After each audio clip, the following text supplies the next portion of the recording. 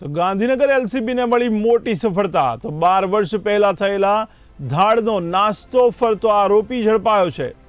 તો દોલારાણા વાસણા ગામમાં બાર વર્ષ પહેલા કરી હતી ધાડ.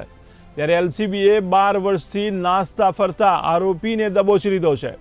તો એલસીબીએ શંકર મેઘુની નામાની કરી છે ધરપકડ.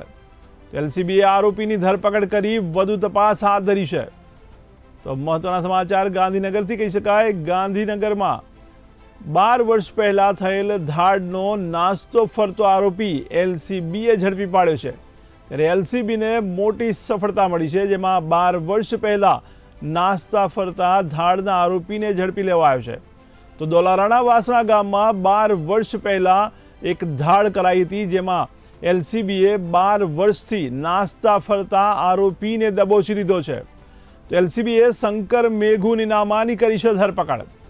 એલસીબીએ આરોપીની ધરપકડ કરી વધુ તપાસ હાથ ધરી છે.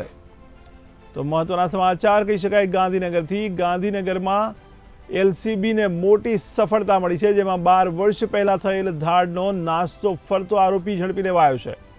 તો દોલારાણા વાસણા ગામમાં બાર વર્ષ પહેલા ધાડ કરવામાં આવી હતી, જેમાં એલસીબીએ બાર વર્ષથી નાસ્તા ફરતા આરોપીને દબોચી લીધો છે. તો એલસીબીએ શંકર મેઘુની નામાની ધરપકડ કરી છે. ત્યારે એલસીબીએ આરોપીની ધરપકડ કરી વધુ તપાસ હાથ ધરી છે.